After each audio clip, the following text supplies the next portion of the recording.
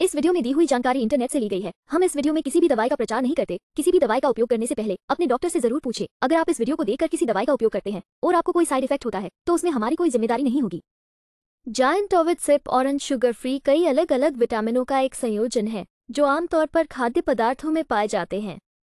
Multivitamin का उपयोग vitamin प्रदान करने के लिए किया जाता है, जो आहार के माध्यम से नहीं लिया जाता है।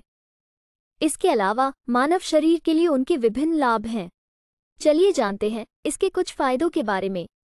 एक, यह ऊर्जा और जीवन शक्ति को बढ़ावा देने में मदद करता है, प्रतिरक्षा को बढ़ाता है और हड्डियों के स्वास्थ्य का समर्थन करता है।